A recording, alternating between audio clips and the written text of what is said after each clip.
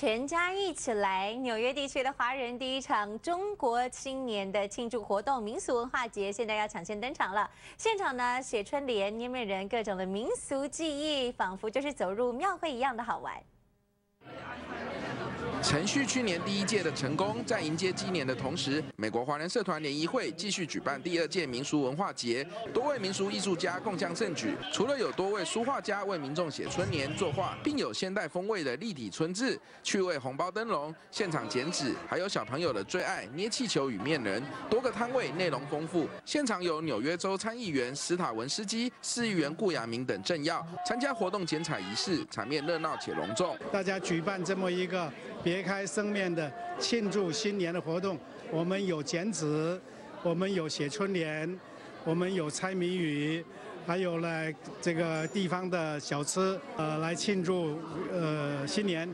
你看今天这会场的布书呢，也以红色为底，喜气洋洋。由杜宝珍主办的捏气球摊位是小朋友的最爱，小狗金鸡无不惟妙惟肖。旁边上市云的捏面人摊位不遑多让，对在美国长大的小孩来说更是惊喜连连。我这是个面塑艺术，个面塑呢可以做很多的动物啊，小朋友喜欢的，呃花啦、鱼啦。今天是鸡年，所以我做了很多鸡，祝大家鸡年吉祥发大财。面面的。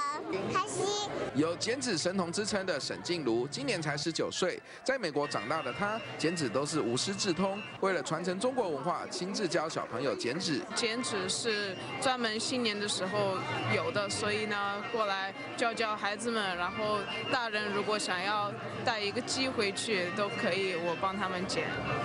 我在做一个一个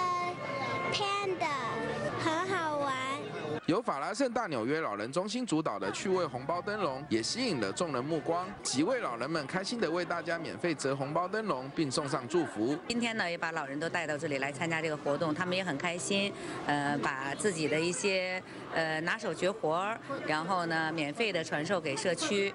为我们这次呢新年民俗这个节呢，呃，凑个热闹。啊，我们做的这个叫吉祥如意，我们是完全是义工，不收不收那个工钱的。现场各式各样的摊位，还有两个小时不间断的文艺表演，还没过年就感受到有如庙会般的春节气氛。东森新闻廖子怡在纽约采访报道。